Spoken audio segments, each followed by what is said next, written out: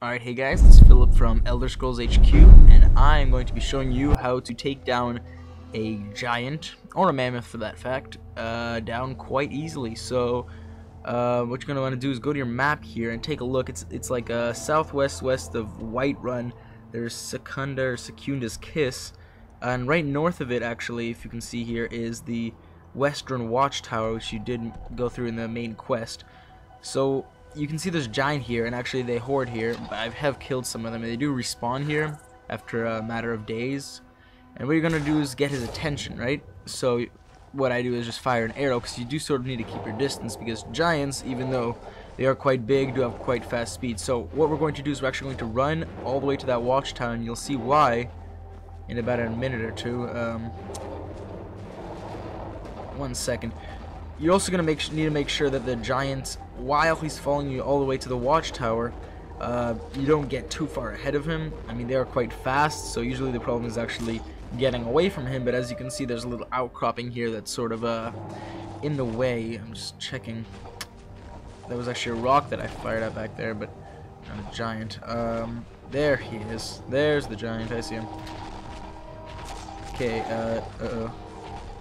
Um, gotta sort of get away from him right here. I don't want to let him catch up to you because there is a good chance he will kill you.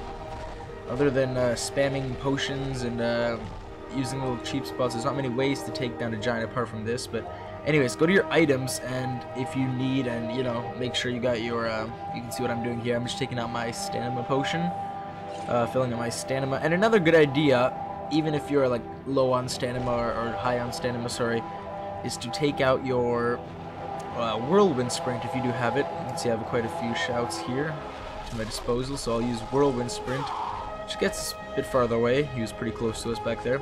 So anyways, we're sort of uh, nearing the, um, the watchtower now, and we can become a little bit more... Uh, we can become a little less hesitant here because here is like the final bit, so even if it hits you once, it shouldn't be too much of a deal. Where is he? Oh, there. Uh-oh. Um, Oh, we just got stuck there. Yeah, we just got hit. Uh-oh. You can see how much damage he does. Anyways, now we're here, and now the giant still wants to get you. And this is this is the whole uh, point of why we're here. The giant is now attempting to get you as you are uh, in the watchtower, so you can, you know, shoot him with arrows as much as you want. I have an enchanted bow, so it helps. Um, but yeah, you know, it's great. Uh, it's not really that easy here, by the way, I'll show you to you with magic as well. Uh, you can you can train your magic. Uh, you can train your um, archery. I have yet to try it with a real weapon, like a sword or a, a great sword.